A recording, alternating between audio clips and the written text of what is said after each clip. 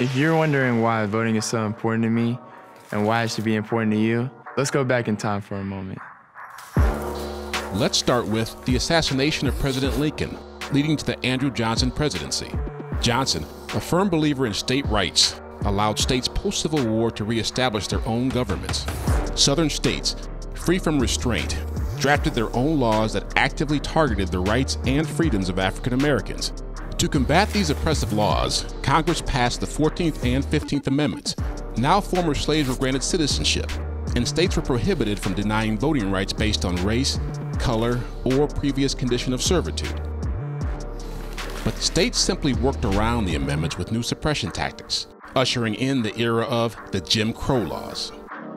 Poll taxes, literacy tests, legalized segregation, these state and local laws not only suppressed the vote, they made daily life for African Americans dangerous.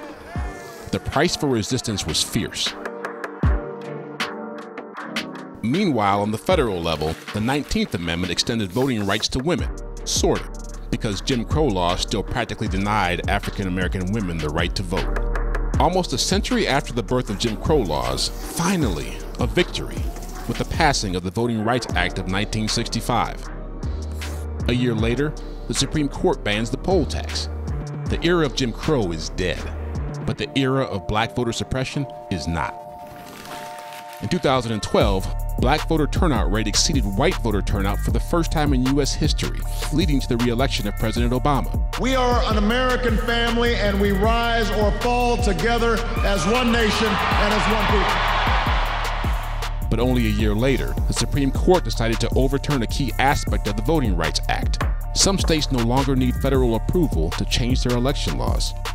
A few short years later, we're living in a new but familiar world of threats to voters' rights. These tactics can make people feel their vote doesn't matter. But history teaches us not just about these challenges, but how we overcame them. And why we have an obligation to fulfill the rights that others fought so hard to enable and protect. You can see how important and difficult it was just to gain the right to vote for many of us. Let's not waste this opportunity. Please visit morethanavote.org.